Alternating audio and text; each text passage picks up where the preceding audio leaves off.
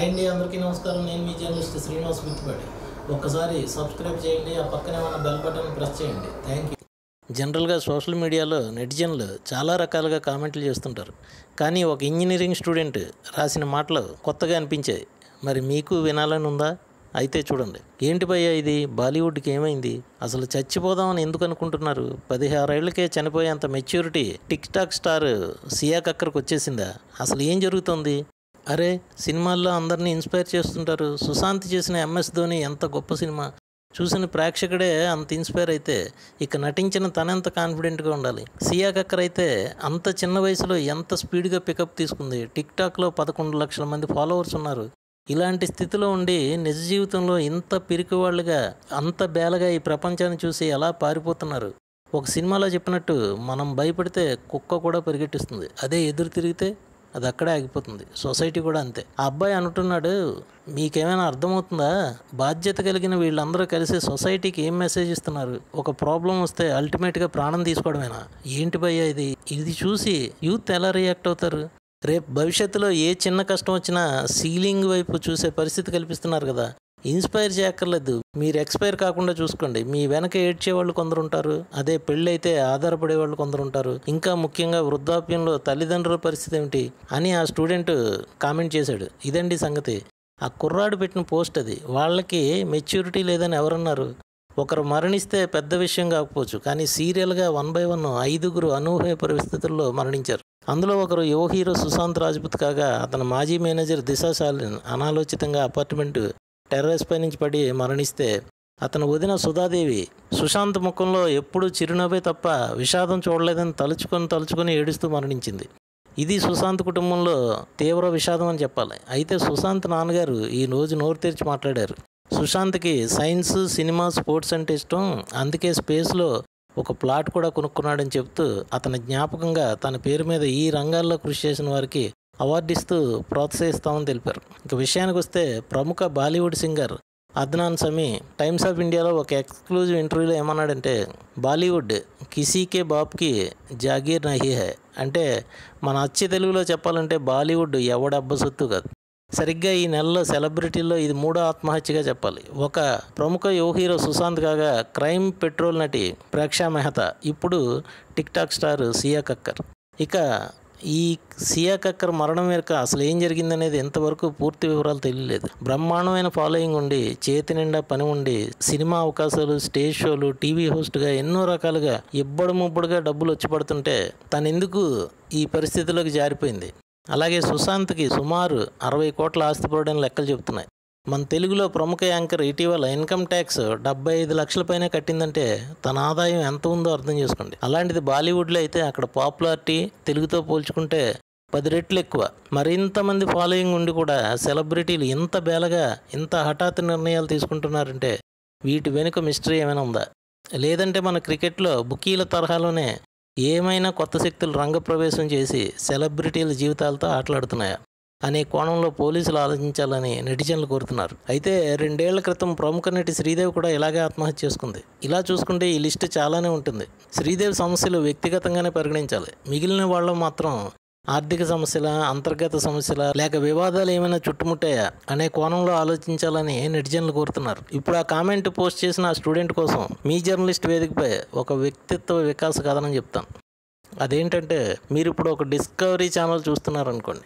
నిజానికి మనిషి అనే ఒక జీవి ప్రయాణం మొదట అరణ్యం నుంచే ప్రారంభమైంది. అలా అలా ముందుకెళ్ళి నగరీకరణ దిశకు మారిపోయాడు.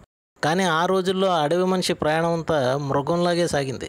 అతని పక్కనే పులు తిరిగేది పాములు తిరిగేవి నక్కలు ఎలుగుబంట్లు ఏనుగులు ముసళ్ళు జింకలు కొంగలు ఇలా వాటి మధ్య అడవి మనిషి సహజీవనం సాగేది. అయితే ఇప్పుడు పట్టణాల్లోకి నాగరికతలోకి అడవి మనిషి వచ్చేసాడు జంతువులకు దూరంగా వాటిని వదిలి వచ్చేసాను అనుకున్నాడు. కానీ అవి ఎక్కడికి వెళ్ళలేదనే సంగతి అతను గుర్తించలేదు. నిజానికి అవి అతనిలోనే ఉన్నాయి. అతని మనసు మూలాల్లో ఉండిపోయాయి. ఎలాగంటే ఒకరు పులిలా కోపంగా చూస్తారు. ఒకరు విసుగు తెప్పిస్తే ఒక్కసారి సింహంలా గర్జిస్తాడు.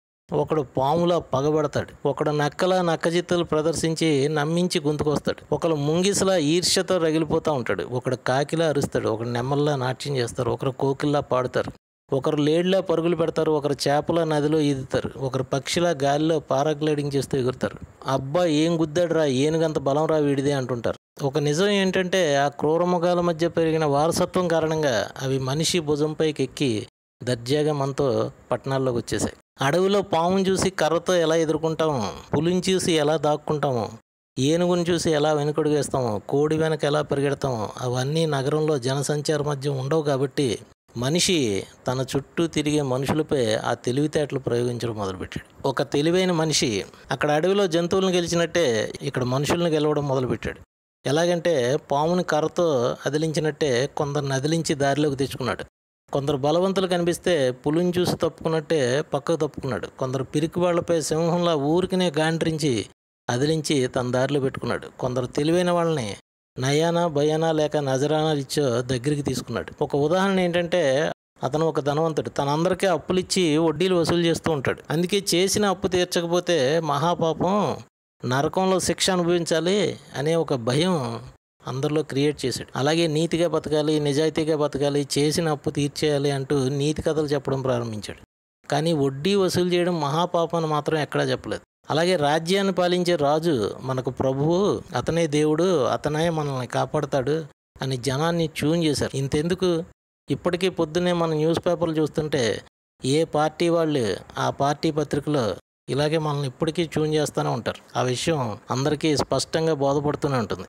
అలా తెలివైన వాళ్ళు రాజ్యాలను విస్తరించారు. కొందరు వ్యాపార సామ్రాజ్యాలు విస్తరించుకుంటూ ముందుకెళ్ళిపోయారు. కొందరు రాజకీయాల్లో నాయకుల్లా చలామణి అయిపోయారు. రెండో వర్గానికి చెందినవాడు సమయస్ఫూర్తి ఉన్నవాడు మధ్యతరగతి వాళ్ళ నిలదొక్కుని ఒక ఉద్యోగిగా మారిపోయి డబ్బులున్న వాడి దగ్గర నౌకరీ చేస్తూ వందేళ్ళ జీవితాన్ని సంతృప్తికరంగా బతికేస్తున్నాం అనుకుని హాయిగా ఫీల్ అవుతూ బండి లాగించేస్తున్నాడు. చివరికి తెలివి తక్కువ వాడు ఎక్కడ వేసిన గొంగళి అక్కడే అన్నట్టు ఉండిపోతున్నాడు. ఇదంతా చదువుతుంటే చిన్ననాడు చదువుకున్న మూడు చేపల కథ గుర్తుకొస్తుంది కదా.